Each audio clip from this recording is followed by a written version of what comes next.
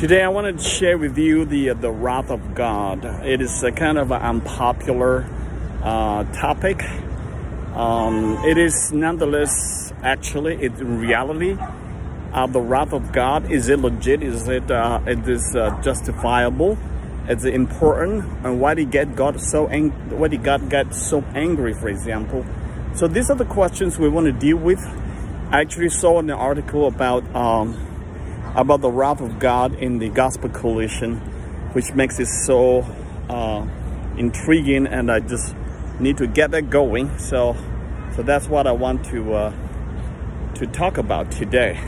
Uh, Romans chapter one, verse fourteen. For the wrath of God is revealed from heaven against all ungodliness and unrighteousness of men, who by their unrighteousness suppress the truth. For what can be known about God is plain to them because God has shown it to them. For his invisible attributes, namely his eternal power and divine nature, have been clearly perceived ever since the creation of the world in the things that have been made, so they are without excuse. Now this is really important. Uh, first, God is the Romans chapter 1, Paul is establishing that there is no excuse for man to and women to reject God's existence and his uh, to acknowledge him and therefore honor him and revere him because he's our creator. So this is really important.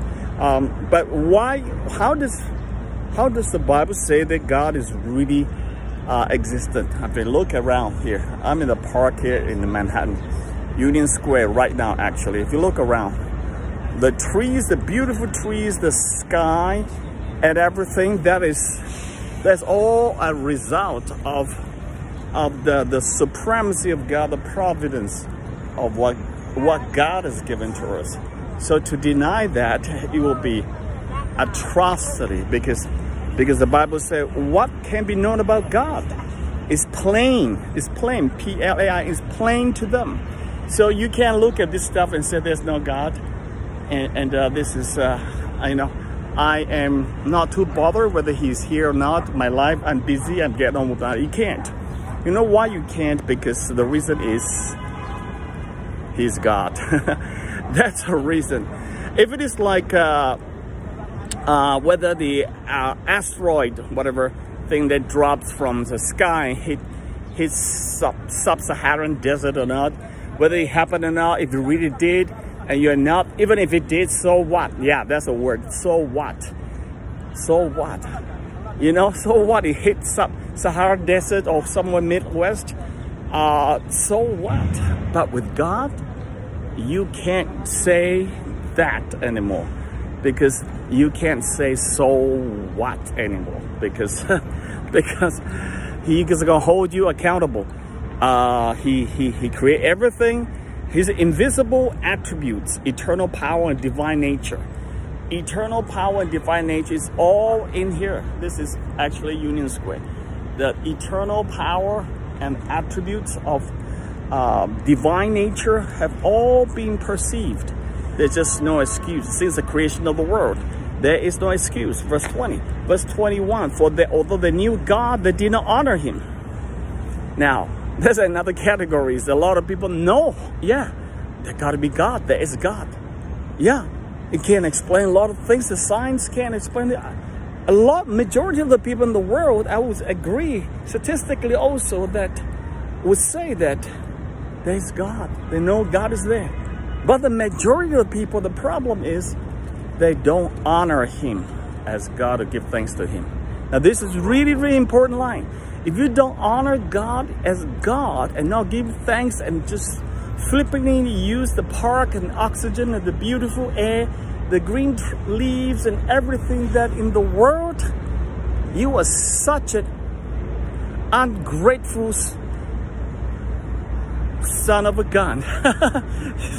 Pardon the language, but this, this just to express how unfair. You talk about injustice, unfair is really unfair. After people, after the God who created, give you the birds and the oxygen and the fresh air and the trees and leaves and everything to you and four seasons and everything absolute and beautiful balance. You don't suck out of a sucked, sucked into the cosmos, floating in the air.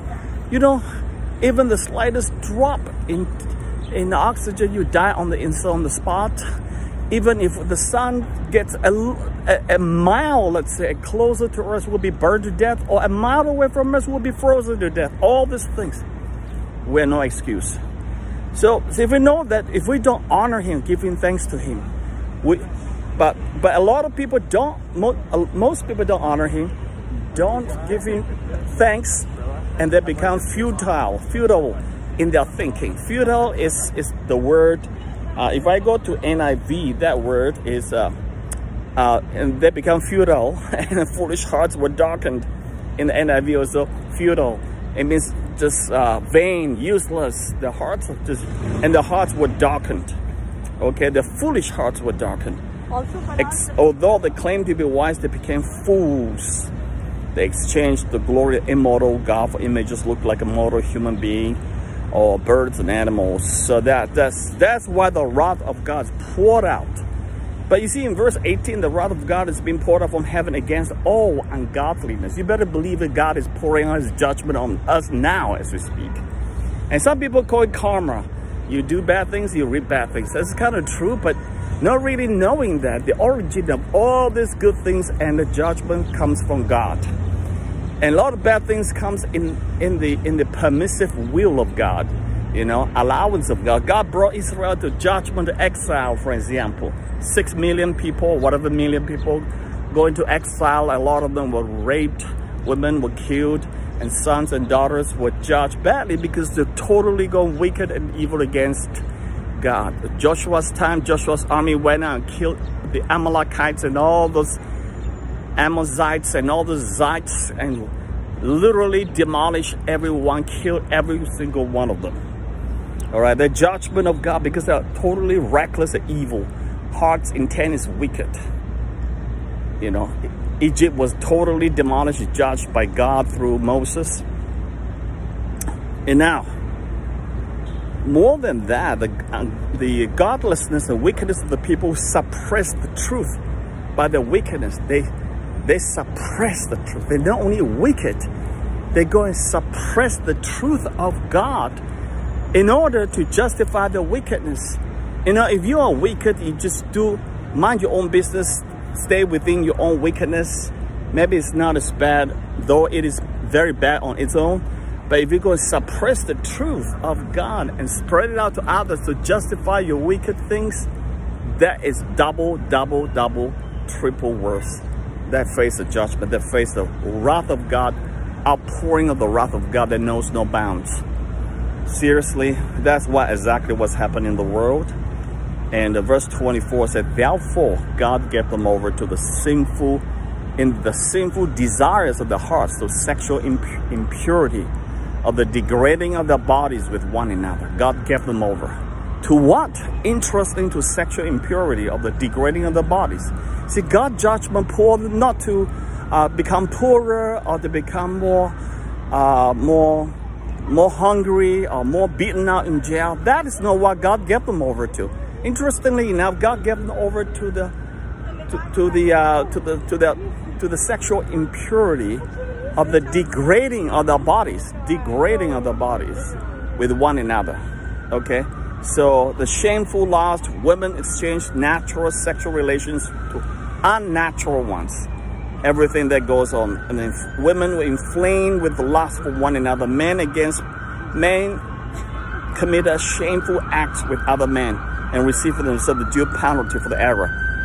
You know, all we, we, we all know that that's what's all talking about, but I just want to conclude in saying that the judgment of God now bring it to the long trajectory, the eschatology, eschatological ending. Eschatology demands that the, the, the final judgment will end in hell.